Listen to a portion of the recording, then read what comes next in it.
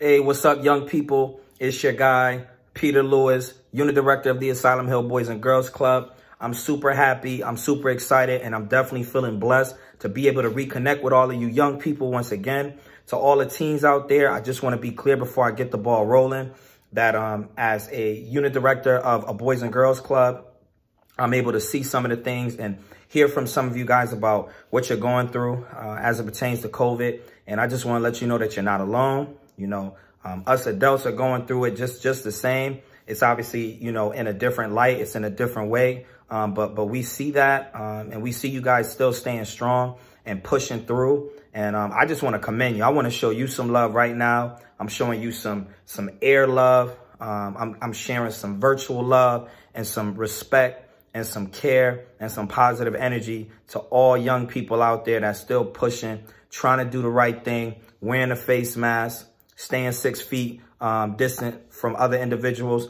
And also, you got the holidays coming. Thanksgiving is all about what? Family. Everybody being together. Everybody being tightly knit. Everybody being connected. And so when you think about that, you know you can't really do it anymore, right?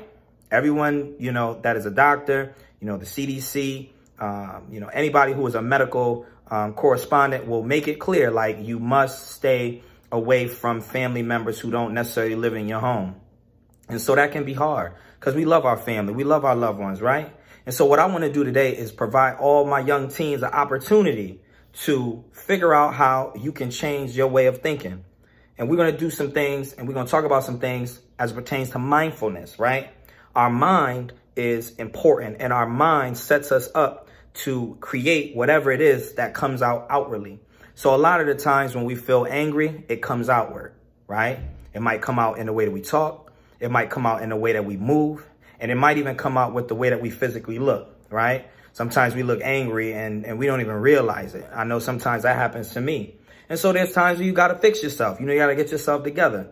But with COVID-19, it's real hard. And sometimes the things that we normally do that make us, you know, get, get on a chill mode, you know, relax a little bit, take it back, right? Um, we, we don't feel that stuff is working. So I want to provide you all with a couple of tips and tricks, um, some things that I was able to find that could be helpful. Now, I'll be honest and share. For me, I typically go to the gym. I like to lift weights. It makes me feel good. You know, obviously it's good for your body, um, but it also makes me feel good. It allows me to let off some steam. Um, and, and, and, after I'm done, you know, I'm, I'm tired. I'm like, like about to fall out and go to sleep. Um, but at the end of the day, I feel really, really good. And so I want to share a couple of things that you all can do. Very basic, very simple. And at the end of this video, I am also going to provide a great link so that you can see some of the things that I share. So hopefully you'll want to share with a friend who will share with a friend who will tell a friend to tell a friend to tell a friend. And then everybody's po positive and practicing positive like things that are going to help their mood, their emotions, their feelings, their thoughts, and all the stuff that comes in between. So here we go. The first thing that I got on the list is, drum roll, please.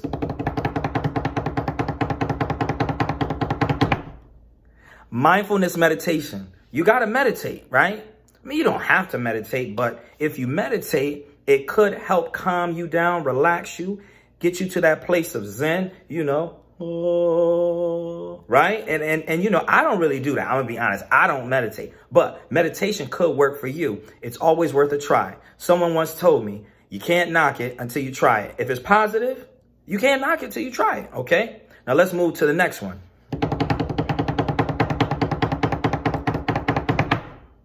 Relax your muscles. Think about it. Every day when you get up in the morning, you start moving. Think about it. Every day when you're up moving around and doing things, you are exerting energy. Sometimes you might need to just sit down and just relax. You know what I mean? Take take your glasses off. Don't even move. Just, uh, just, yeah, I'm just comfortable now, man. And just sit there and think. Sometimes literally just sitting there and thinking and just letting whatever come through you just come through you, it, it can relax you. Believe it or not. Now, I've tried that before. It worked one time. That was the only time I did it, but it worked one time. But the point is, it's still worth the try. You got to try something different if you want something different, right? Now, we're going to move to the last one. And this is the one that I really, really like. And I have a Apple um, Watch. And so it lets me know what my breathing patterns are and it lets me know if it's time for me to take some deep breaths so that I can relax myself because I have um, a mild case of anxiety. And so I get I get very anxious um, when there's a lot of things I have to work on. So let me get over to this item and here we go. Drum roll, please. Oh, the excitement, the excitement, the excitement, and control your breathing. It's very important. It's very vital. I mean, breathing is what allows you to continue to be on this earth and be mobile and be moving and be active. And you know what I mean? That's my robot reenactment right there. It's like, I'm like trying to be a robot. I don't know if you guys, if this is, you guys get this, but yeah. Yeah, I don't know. But anyways, the point that I'm trying to make is it's so important to control your breathing. It's so important. You know, if you have a more calmer breathing, you know, you're more relaxed. You feel more put together. You feel more calm. You feel you feel a sense of of of peace or tranquility, right? And so it's so important to think, right, about what you're doing, how it makes you feel, and how you can create the positive behind it. So meditating is one, relaxing your muscles is two, Controlling your breathing is three. Now, those are just three items that you could try. Now, I'm going to send you for free, for free, no cost, no cost, for free. I'm going to send you a attachment to this video so that you can see exactly what it is that can help you be more stress-free. I mean, it's like a list of quite a few things, but I decided to share with you all the top three that I really like. So with that being said, I hope that you feel different about um, the holidays and you feel different about, or at least optimistic about how you can change your.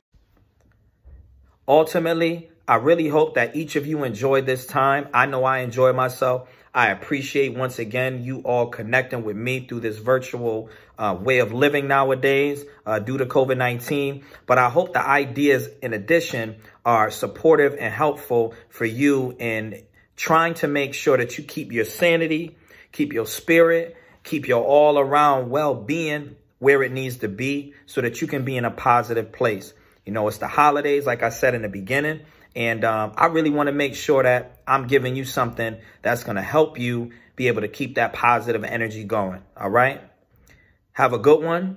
Enjoy the rest of your day, your evening, wherever you are in the world. And I will see you soon.